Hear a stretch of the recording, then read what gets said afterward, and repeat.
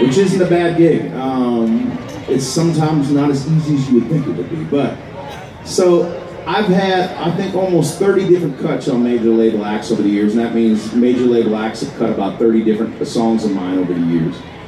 And every once in a while, you'll have a song that comes on the radio, and I've been very blessed to have a couple of singles on other acts. And even way less than that, um, you get a chance to have something like this song right here. This song right here was uh, written with a very good friend of mine, Mr. Jamie Johnson.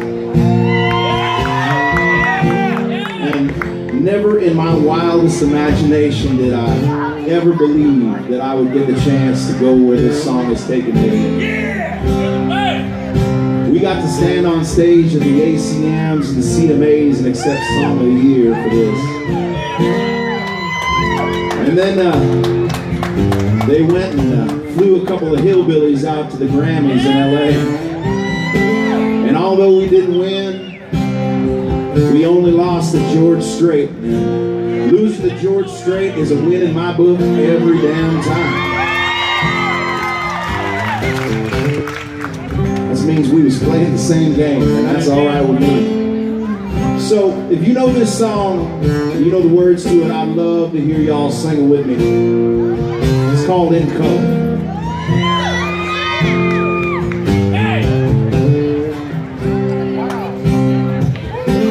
I said, Grandpa, what's this picture here? It's all black and white. And it ain't real clear you there. You sit here, I was 11. Tough back in 35. This is me and Uncle Joe just trying to survive a cotton farm. Great Depression. And if it looks like we were scared to death, like a couple of kids just trying to save each other, you should have.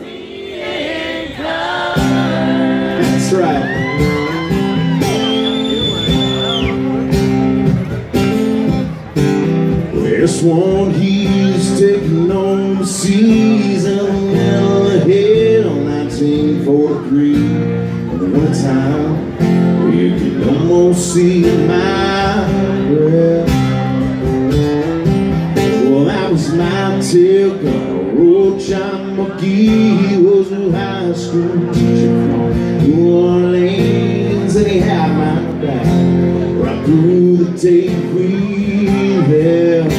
Y'all out there And if it looks like we were scared to death Like a couple of kids just trying to save each other You should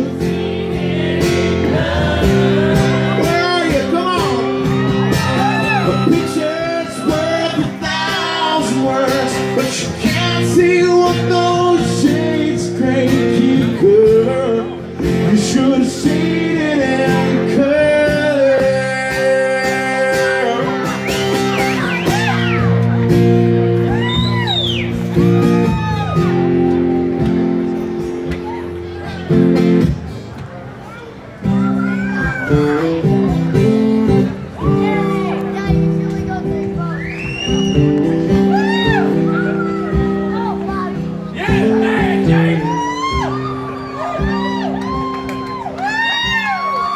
Well,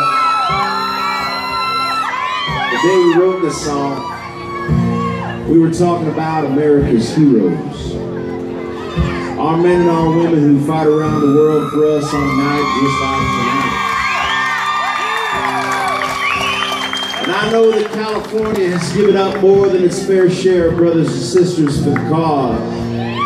And I want to say thank you from the bottom of my heart for your sacrifice on behalf of this great country that we live in. I want to see a show of hands of military and their family here. Raise your hands up there. Thank you so much for what you do. I believe in my heart of hearts that this is the land of the free because of the brain.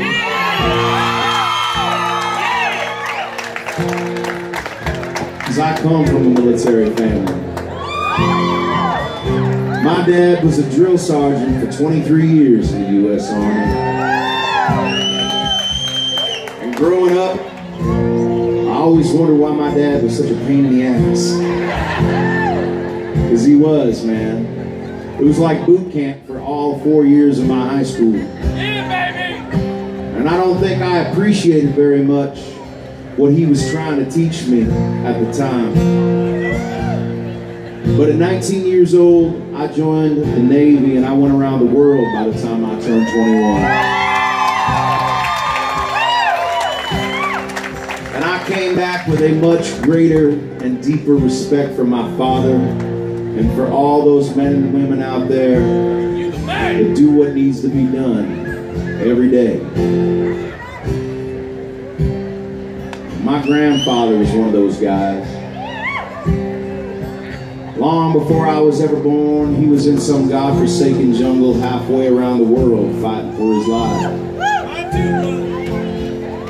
And I've wondered many times, what is it makes a man wake up in those kind of conditions and want to fight their way out instead of laying down and dying? Because I know there's days they feel like doing that. And I'm not sure that I know what motivates all men, but I know what motivated my grandfather. That was my grandmother. Yeah, baby, yeah! They were married for over 50 years, y'all. Anybody that's been married for five minutes knows that 50 years is a hell of a long time. That's like a war all on its own. But my grandfather loved my grandmother, and he was one of the strongest men I'd ever met. And in all the years that I've been alive, I never saw him cry one time until the day they laid my grandmother in the ground after she lost her battle with breast cancer. And that day, I watched him break down like a baby at her graveside. But that's what love should do to you. It should make you want to live and die for somebody else. And I know that my grandfather would gladly trade places with my grandmother if he could. I hope everybody here finds that kind of love in their lifetime. That's the only thing that's going to heal this broken world. It's exactly what we wrote this song about.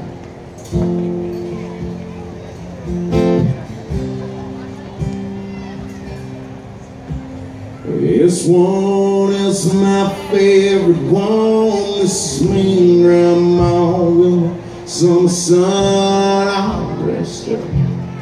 I rest her. The day we set our. You can't tell the G, but it was hot that June. That rose was red and her eyes were blue. Just look at that smile. I was so proud.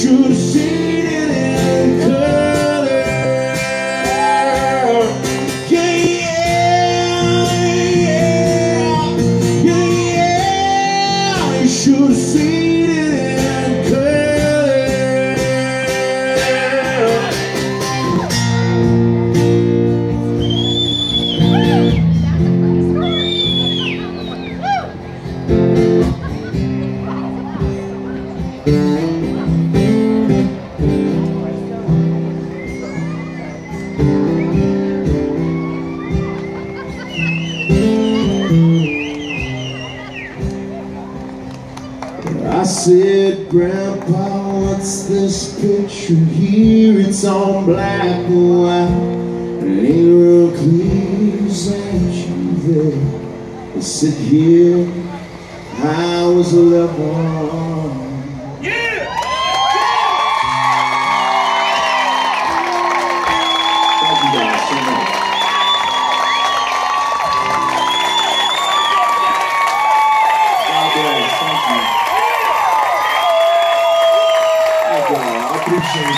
Thank you. I